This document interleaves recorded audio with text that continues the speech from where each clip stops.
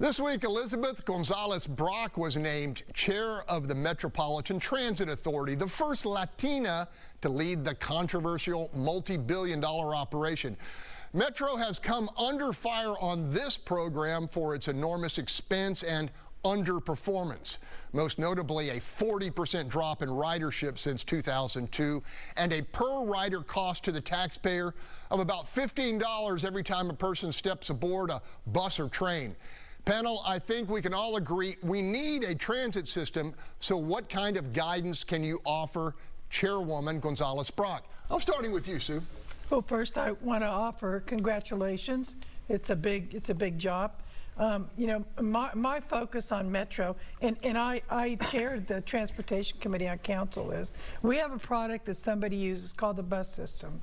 We ought to focus and make that the best darn bus system in the United States of America with stops where people have shelters, where they have benches to sit on, where they have high tech, where they know when they get on the bus that they can transfer over very quickly to another bus they need.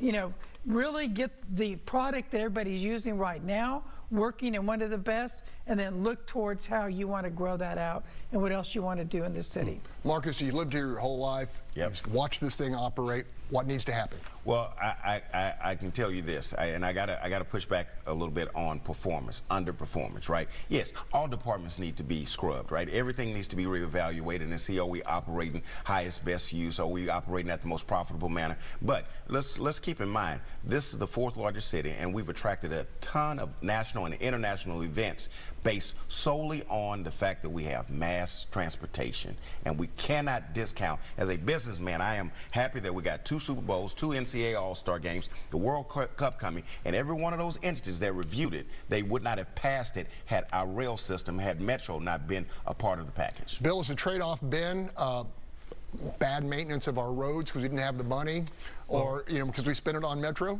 Well, the city of Houston gave up half their sales tax revenue in the 1970s. If the city of Houston had that money, the city wouldn't have any financial problems. All the streets would be paved, mm. police would be paid. I mean, every financial problem you have would, go, would have gone away. About $20 billion over the life of Metro.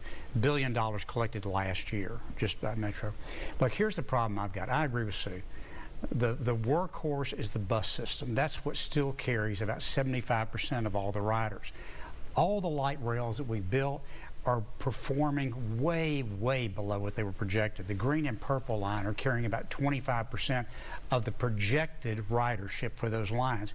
And yet we're talking about going and spending now another $3 billion on two BRT lines, and the one BRT line we have is carrying 5% of the projected ridership. It is an insane use of $3 billion. Sergio, we are watching. We got to go to break. Still ahead. Has your